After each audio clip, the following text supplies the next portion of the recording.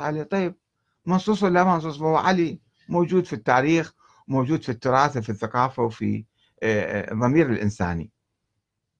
ما ينقص أنه يكون ما منصوص عليه. نفترض ما ما في أي نص عليه. ولا أي حديث نبوي مثلا عليه. هو الإمام علي نفسه. تجربته وفكره وهذا نهج البلاغة وسيرته مع الخصوم والأعداء. شوفوا كيف كان يتعامل. هذا علي بن أبي طالب. ولكن بالحقيقة الإمام علي والتشيع مجهول من قبل الشيعة أنفسهم سواء المغالين أو حتى المعتدلين اللي يسمون نفسهم معتدلين ما يغالون كل الأشياء يرفضوها. مع ذلك لا يفهمون لا يفهمون ماذا كان التشيع قبل 1400 سنة وماذا بقي من التشيع الآن. وهل هناك شيء اسمه شيعة الآن أو تشيع الآن؟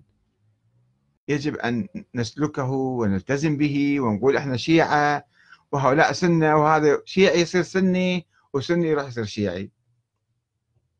وأنا تعرفون يعني فكري السابق بالسبعينات والثمانينات كنت داعية للتشيع وعندي كتابي عشرة ناقص واحد يساوي صفر. سنة 73 كتبته وطبعته في 74 وعدة طبعات في الكويت وبيروت وطهران الولاية هي أهم شيء. طيب ما هي الولاية؟ أين هي الولاية؟ أين هم الأولياء حتى نواليهم؟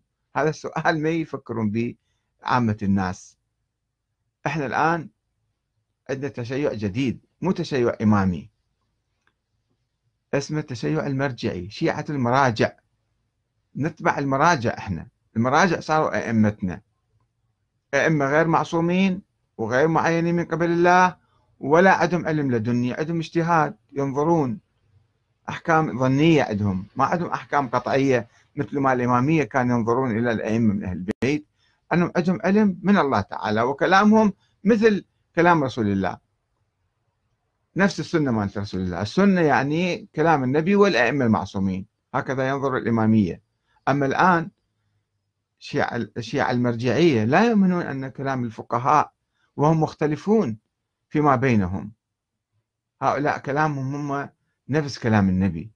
أو أو يجعلهم علم لدني. لا يقول يروح يجتهد يدرس ويتعلم ويفكر وكذا. وبعدين أحكامه ظنية.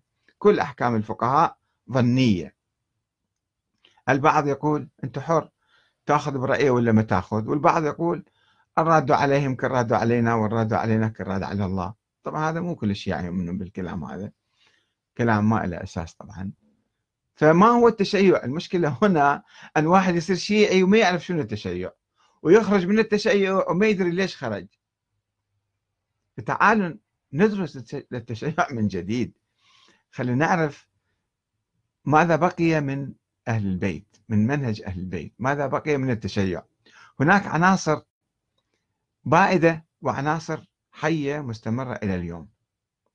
كثير من من الشيعة والآن شوفوا ملايين الناس راح يزورون الإمام الحسين يمشون على أقدامهم.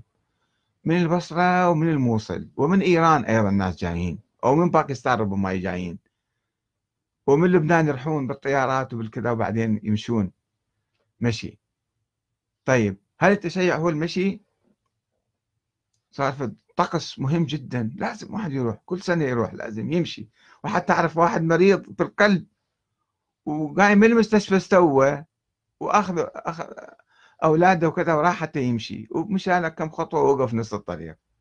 إيه هو هذا الدين هو هذا التشيع هو هذا. وبعدين شنو أنت؟ مشيت. شنو صار بعدين؟ تحيي الأربعينية تحيي الإمام الحسين. ذكر الإمام الحسين. الإمام الحسين يحتاج حتى تذكره يعني. قتل حتى نذكره ونبكي عليه.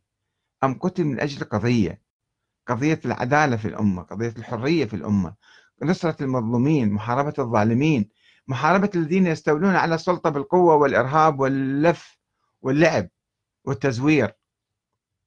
إذا أنت ما عندك أي موقف حيوي اليوم تجاه الظالمين والمستبدين والمحتلين والمغتصبين والصهاينة والظالمين في كل مكان حتى اسمهم ما تجيبهم. اسمهم ما تجيبه أنت. وتقول أنا شيعي ودا أروح أمشي مثلا. هذا هو التشيع حقيقة. يعني هذول الملايين وعامة الشيعة اليوم اللي ينظرون إلى التشيع تشيع ميت هذا. ما في روح. مجردين من روحه. وهناك مراجع هم أيضا ما يفهمون التشيع. وما يقبلون واحد يبث الحياة بمنهج أهل البيت ويسير على منهج أهل البيت. ما يقبلون واحد يرفع راية أو كلمة أو أو علم مثلا لشعب المظلوم للشعب اليمني مثلا. لا أبرز مثل بالعالم كله. كل العالم ده يتكلم عليه. هذا الشعب مظلوم مهدد بالمجاعة. مجاعة مو مهدد. مهدد بالكوليرا. ملايين الناس يصابون بالأمراض والكوليرا والمجاعة والظلم والقصف. يوميا قصف قصف ومراجعنا الكرام ومسؤولين الأعزاء يمنعون أحد يرفع علم اليمن أو يذكر بمأساة اليمن. مأساة شعب كامل مو شيعة فقط ترى باليمن كل الشعب اليمني تحت الاحتلال وتحت القمع وتحت القصف والمرض والمجاعة. ولا أحد يهتز له ضمير. طيب يقول لك أنا شيعي راح أمشي الإمام الحسين حتى أحصل ثواب حتى يشفع لي الإمام الحسين يوم ما يشفع لك الإمام الحسين يوم القيامة. إذا أنت ما نصرت قضية الإمام الحسين ما مشيت في خط الإمام الحسين مو تمشي على الأرض من البصرة ومن الموصل المدري وين إلى كربلاء. امشي على خط الحسين وأنت في مكانك وأنت في بلدك وأنت في مدينتك.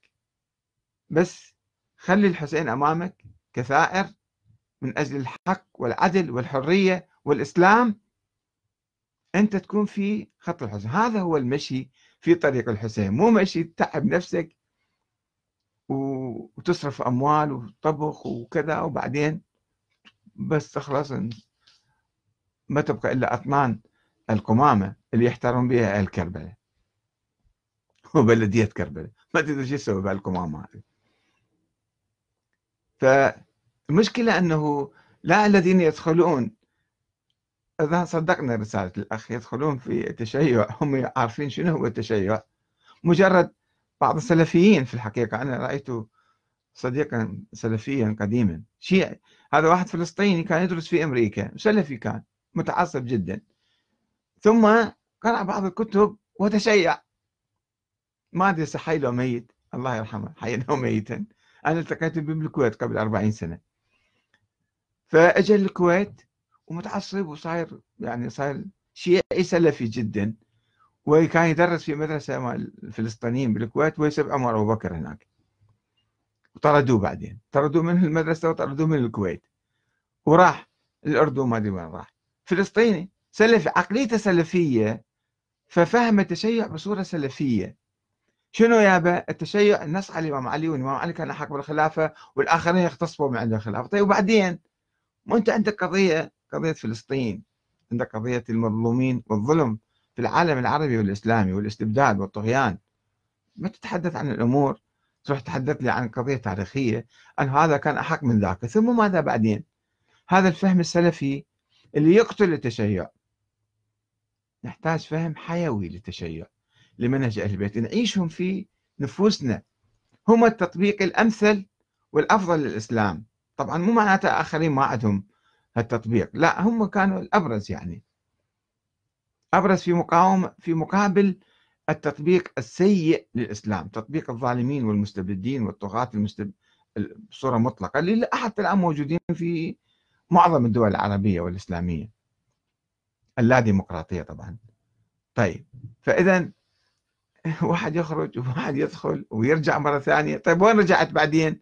شنو شنو رجعت لوين هو يقول أنا رجعت إلى أن المذاهب آه أنه يعني جميع المذاهب الطريق إلى الله تعالى لا يمر عبر المذاهب صحيح. وهذه هي دعوة اللامذهبية أنه ما نشبت بمذهب اللي ورثناه من آبائنا وأجدادنا؟ نشوف أي شيء جيد عند أي مذهب ناخذه. وأي شيء سيء حتى لو كان في مذهبنا نرفضه. نرفض الغلو نرفض الطقوس العبثية. والطقوس العنيفة مثلا نرفض نظريات مختلفة نبحثها أنا ما أدخل في تفاصيل الأمور.